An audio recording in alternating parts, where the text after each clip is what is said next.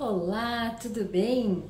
O vídeo de hoje é bem rapidinho e eu vou contar sobre uma dúvida que surgiu ontem durante uma consultoria que eu fiz para um cliente e a dúvida dele era sobre uma das era sobre os revestimentos de, de paredes de alvenaria.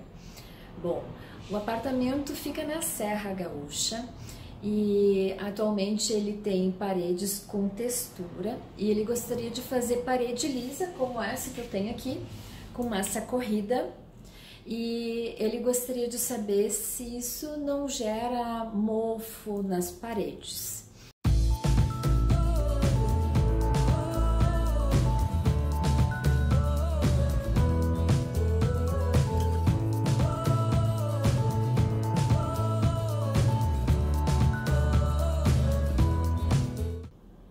Bom, a dúvida dele era a seguinte: uh, ele tem um apartamento na Serra Gaúcha, onde é mais úmido o ar, é mais úmido, tem mais umidade do que aqui em Porto Alegre.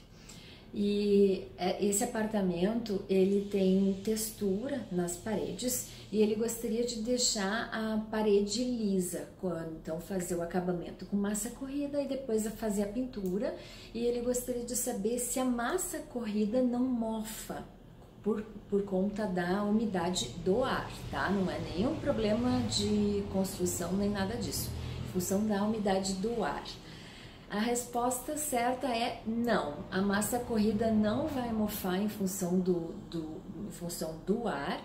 Na verdade, para evitar o mofo dentro dos ambientes, uh, são principalmente dois, uh, dois itens que vão interferir nisso. Um é a ventilação do espaço e o segundo é a insolação. Então, na, na verdade, o que vai interferir é a arquitetura do imóvel. Se tem uma boa ventilação, se ela está voltada para o vento predominante, se tem janela, se tem abertura de janelas suficientes, esse espaço dif, dificilmente vai mofar, né? E também se ele pega sol em algum, algum horário do dia, certo?